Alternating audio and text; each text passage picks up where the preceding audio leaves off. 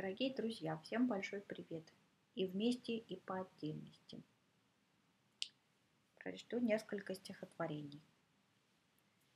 Стихи весенние. Небо цвета мокрого асфальта, мокрые сугробы цвета неба. Даже птички запахнули польта и молчат на жердочке у Бебы. Слышишь, Беба, запахнули польта, почему ты брякнула, я знаю. Птичкам надо повидать Санкт-Пельтен. И адью, и дальше по Дунаю. Утицы ковыляют из пруда, дел груда. Надо попить из лунок. Лунка — честный каблук, лунка — шпилька, лунка — паршивец, лунка — седая лапка, дикая незабудка. В прошлом веке была у ней будка за гаражом, где хрипел бы дядька с ножом. Друг, дело первостепенной важности. Брошу все, начну с середины. Ни входа, ни выхода, ни вокзала, ни полустанка и так далее, друг. И так далее. Только я между коником и осленком. Самолетенька, шибко не беги, под копытами молоко, а внизу-то фантики огоньки, в перьях облаков. Эти облака пузами лежат на верхах дерев, и медведица медом медвежат кормит, озверев, а для нас апельсиновый легкий дым и малиновый нож закат. Хорошо самолетиком молодым, скачем, милые, наугад. Вам признаюсь, господин мой Рильке, не могу отделаться от мысли, что я жив и есть. Может, этот пух на воробьином рыльце нам и вам благая весть. Может, даже наш хороший Гёте, временами грустный от чего-то, расчерикается. Донесь. Даримская сосна. Про европейский вяз. То Джон, то Иоганн. Подумайте о нас. Грабли и вязы, грабы и вязы сказали. Грабли свои привяжи к ножке столетнего бука и не сиди, как бука. Надо леечку взять и полить грядущую сныть. По дороге из Ювау в Цао червяки попали в переделку.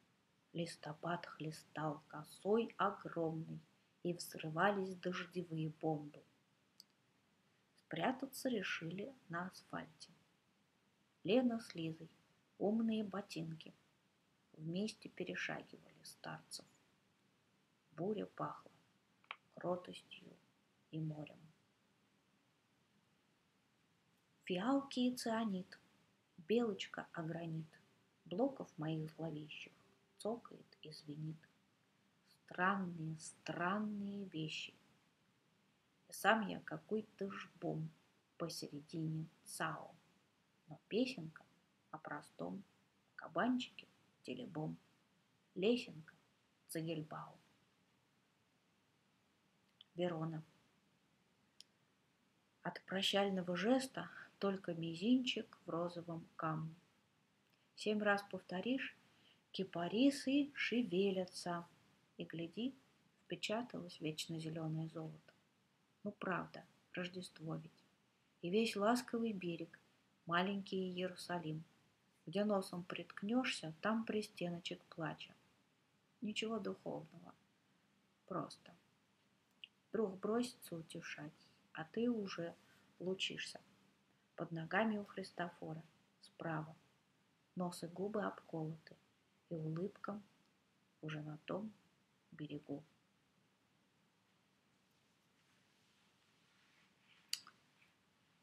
Цокают ботиночки, звякает помпон.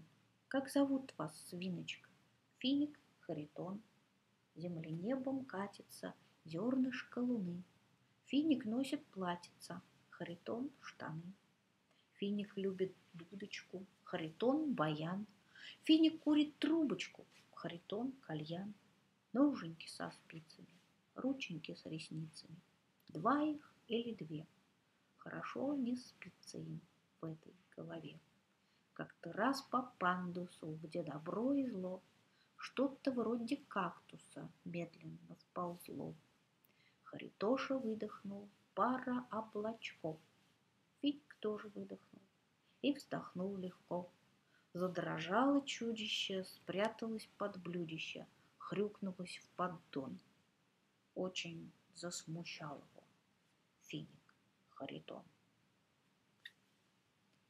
Если позволите, у вас тут все по-серьезному. Если можно, я вот тут постою посреди комнаты, с лицом неподвижным, растерянным, как у кошки Кати. Или, простите, пойду прилягу вон там под кустиком, а потом, как заинька, через поле попрыгаю. Череп заинька. Скок, скок, перекати косточки. Спасибо вам большое. И всего доброго и удачи с фестивалем.